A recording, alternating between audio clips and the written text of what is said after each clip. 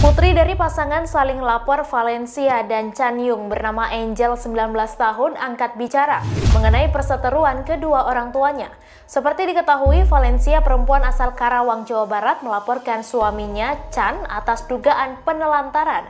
Sementara Chan melaporkan Valencia atas kasus kekerasan dalam rumah tangga. Dikutip dari Kompas.com, dalam kasus ini Valencia dituntut satu tahun penjara.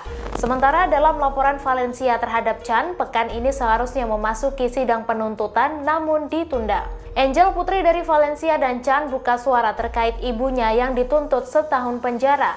Ia mengatakan ibunya tak bersalah dan ia mengetahui betul tentang ibunya. Angel menginginkan keadilan bagi ibunya. Ia pun menilai tuntutan satu tahun penjara sangat berat. Angel juga tak menyangka ayahnya tega memenjarakan ibunya. Sebelumnya, Angel mengaku Chan pernah menyampaikan niatannya untuk memenjarakan Valencia. Menurut Angel, Valencia adalah seorang ibu yang baik.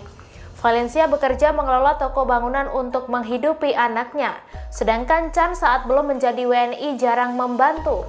Ia pun menegaskan Valencia tak pernah mengusir Chan. Diberitakan sebelumnya, Valencia dituntut satu tahun penjara setelah dilaporkan oleh suaminya. Valencia mengaku mengomeli sang suami karena kerap mabuk. Terkait tuntutan yang diterimanya, Valencia mengajukan keberatan dan mengaku didiskriminasi. Menurutnya, kemarahan itu merupakan pertengkaran rumah tangga biasa. Valencia tak menyangka omelannya itu dijadikan alat bukti saat dia dilaporkan. Sementara itu, kuasa hukum Chan Yung Ching, Hotma Raja Bernard Nenggolan menyebut, kemarahan Valencia bukan karena kliennya mabuk, melainkan permasalahan usaha.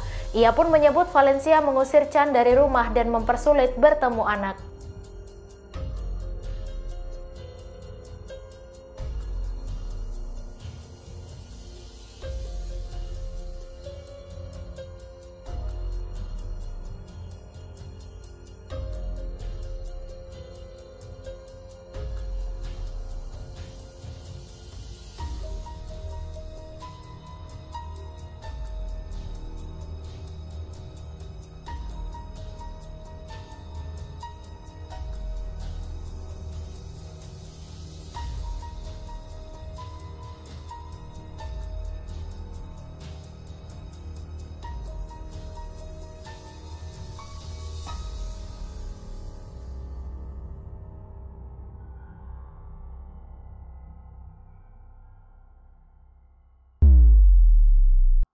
Terima kasih sudah nonton.